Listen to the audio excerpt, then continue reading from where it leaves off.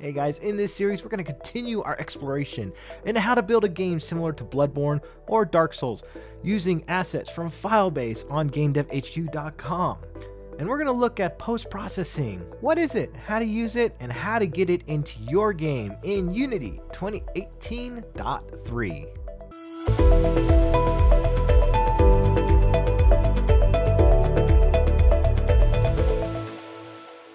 Hey guys, this is Al over at GameDevHQ.com, and every week we bring you three amazing pieces of content related to game development. Check us out at GameDevHQ.com and be sure to like and subscribe. So, this is a scene that we created inspired by a Bloodborne kind of world using assets in Filebase on GameDevHQ.com and using the basic version of Unity 2018.3, which you can download for free. In this video, we're going to show you some of the really cool tips and tricks we know on post-processing in Unity. Okay, so now we are going to dive into post-processing, and it's amazing how a little bit of post-processing brings this entire project together. And I always get really excited about post-processing because I'm from a visual effects background, so when I start seeing like ambient occlusion and I start seeing like blooms and glows and color correction, I get all excited about this stuff. So how do we get post-processing stacks into our uh, game? Well, you go to Window and you go to your package manager. And inside your package manager, you can look on here to see where uh, post-processing profiles are. And once you do find it, just click and install it and bring it into your uh, bring it into your game environment. So once it's in here, it's in here. So how do we enable our post-processing stack? Real simple. We go to create and we create a post-processing file. I'm going to call this uh, build post-processing file. I have my finished scene with my its post-processing profile, and I'm going to use this new one right here. All right. So uh, the first thing we're going to do is we're going to go ahead and create an empty game object, and in this we're going to call this post processing. And I'm going to set my empty game object to post processing. And in here, if I do post processing, you know, I get these several choices. So what I want to do is I want to choose my post processing volume and I'm going to take my post processing and apply that into my shot. And then I'm going to select my main camera and select here and do post-processing layer. And in here, I'm going to set my layer to post-processing. So what does this do? This is now saying, all right, I have a post-processing layer on my camera and it's set to the layer post-processing. This is my post-processing layer because it's set to post-processing. And I'm going to set this to global and now my build and my effect should be here. So let's test this out immediately first. So one of the easiest ways to test this out and see if this is working is go to your color grading and go to your exposure and bring your exposure way down and you could see that my post-processing is already working. Now if you're not seeing this, it's because you don't have this button clicked right here, which it's called, uh, what is this called? Toggle, Skybox, fog, fog, and various other effects. Post-processing works, and you see how uh, a slight adjustment in your post-processing stack will adjust everything in here. What we want to do is let's go ahead and start by adjusting our color information. And we can select a couple different profiles here for tone mapping. Nah, I'm not seeing any major difference here. Um, temperature, we're to turn this on. Now, if we go to the right, we get warm. This is where like the Kelvin lights of your scene matter. So what a Kelvin light is is, you know, when you buy a regular light bulb, it has a really warm color temperature. It's got that yellowish tone. When you buy a fluorescent, it's got this kind of bluish uh, light look to it. And that's because it's got a cooler uh, color temperature. and you know they usually go at like 3300 Kelvin or 5400 Kelvin, something like that. Um, so you can use your temperature as your color temperature of your scene to adjust how your scene looks.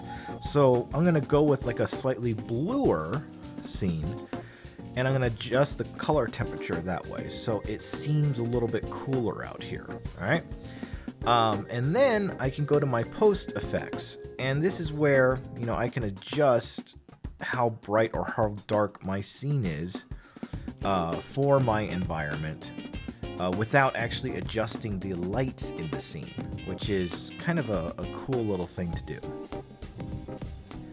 and then another thing I'd like to do is adjust my contrast. So, you know, if I go this way and I decontrast it, I start to get a little bit more of like a like an overall fog effect in the scene.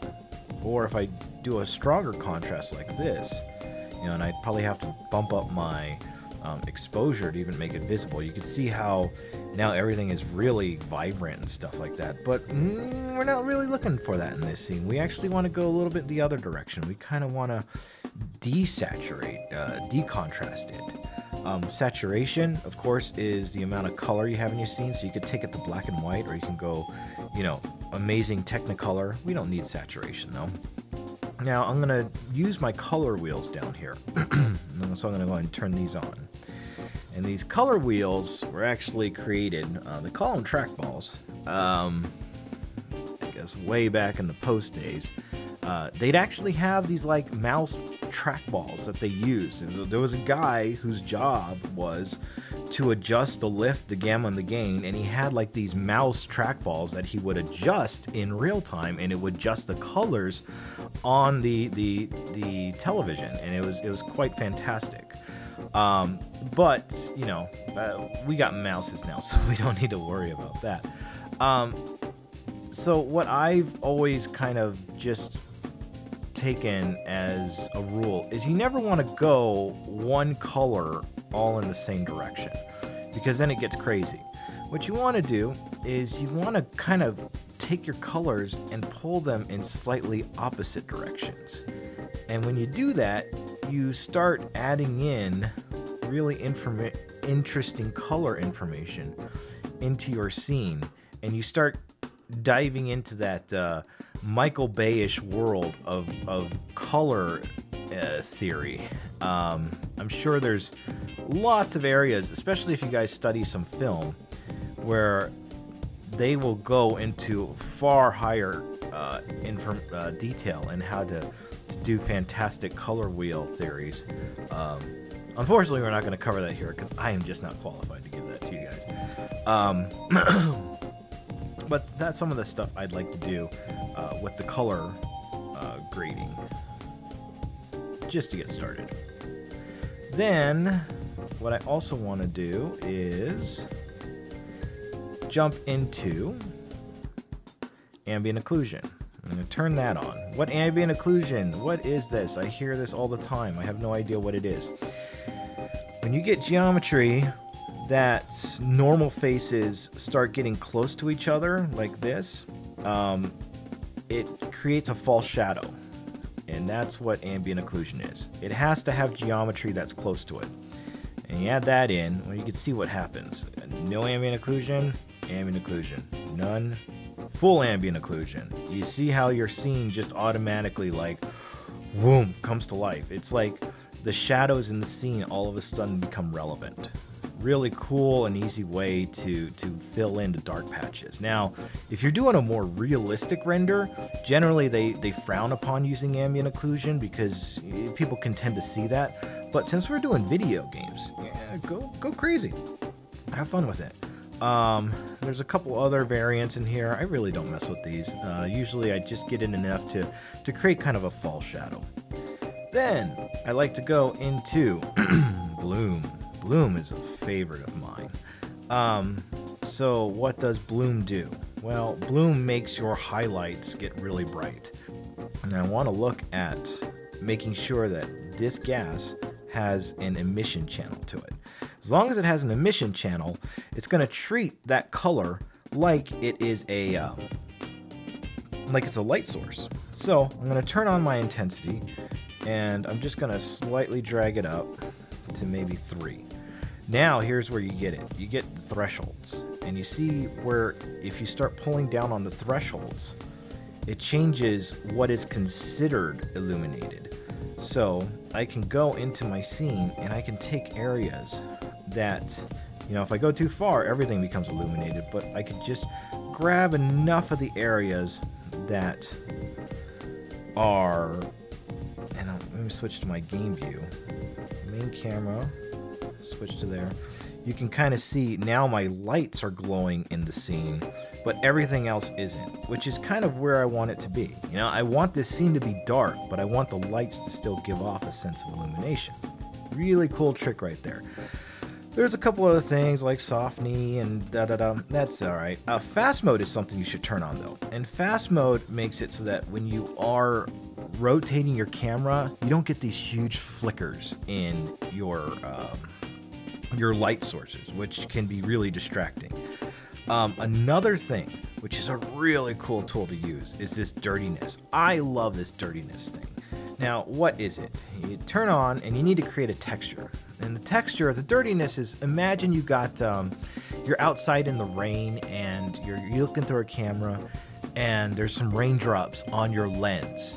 And so you don't actually see the raindrops, but you see the refraction of light in your raindrops. So I love using this.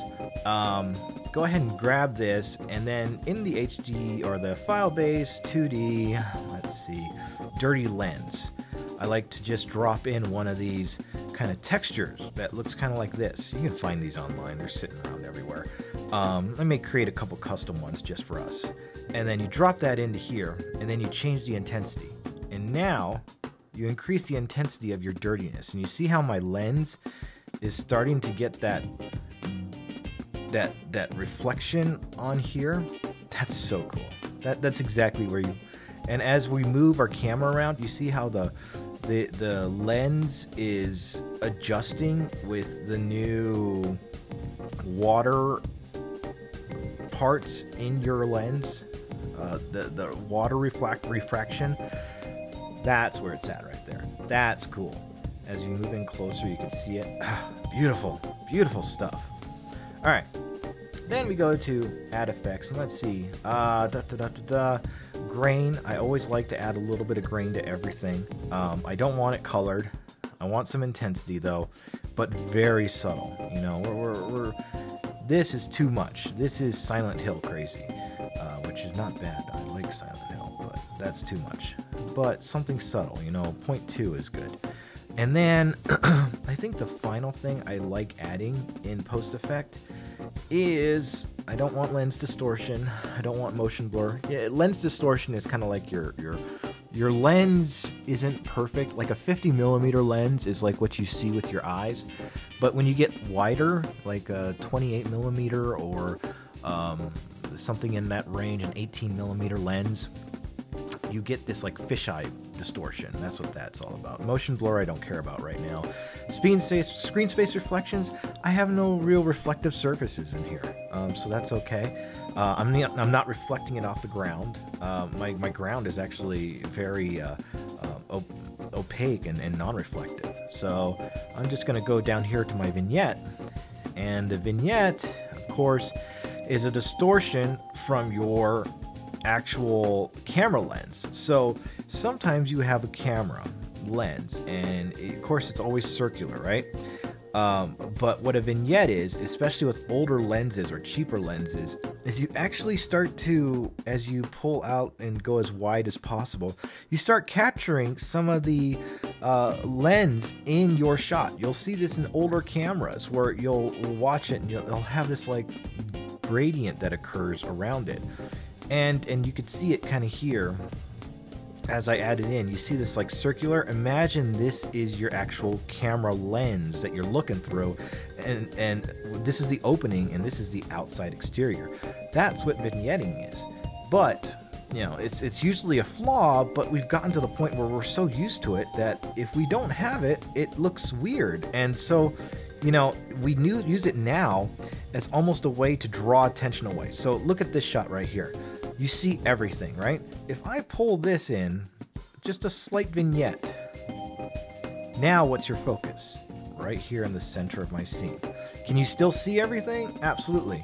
But your focus is now pulled into the center. So that's the purpose behind the vignetting right there. Um, so just something subtle like this. Here's the crazy part about post-processing. Click this, let me turn this off. That's what it looked like, non-post process. On, off, on, off, on. Crazy amount of information can be added into your scene using the post-processing stack. Absolutely love it. now we clicked on this global because we wanted this post processing to be global. But you can actually set it to where uh, these post processing volumes can be kind of like fall offs in boxes. And as you walk into each one, uh, the entire environment changes and adapts to it. So, uh, a good example think of Sky, uh, not Skyrim, uh, uh, Elder Scrolls Oblivion.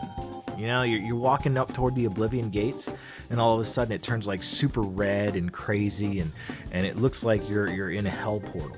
That's how you can do those hell portals is using this post processing volume. Really, really cool effect. So, you know, just by doing these adjustments, now here is our graveyard scene. Ooh, this is spooky and intimidating, and I absolutely love it. So that's it for this tutorial. Uh, next week, we're going to dive into the final parts of this. We're going to do our final little bits, clean it up, and you should have a scene that you could start using for your um, uh, your, your new Dark Souls or Bloodborne builds. So I hope you enjoyed it, and I'll catch you later. And a special thanks to all the Plus and Pro members out there. Your support keeps this thing going, and we greatly appreciate it. We also love committing to New Year's resolutions, and some of you are falling off. So, to recommit, I would suggest pressing that button. Not this one, the dislike, no. That one, the like button, and the subscribe button. Maybe I gotta flip this video around just to make sure. This is Al. I'm out of here. Have a good one. Take care.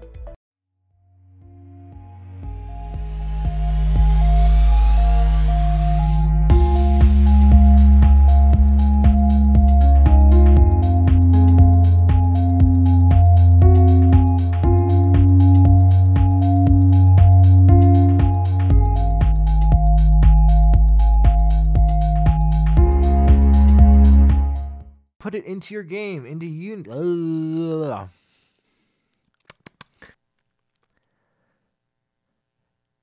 In fact, I know you want to stick in with us like a New Year's. Ah, you stop. Special thanks to all the Plus and Pro members out there. You're su- stop. These two buttons, like, ignore the dislike. Just press the like button. don't don't give up. Keep going. Keep going. Just press the buttons press the buttons. Every week, we bring you three amazing pieces of content. I look like I have permanent bitch face.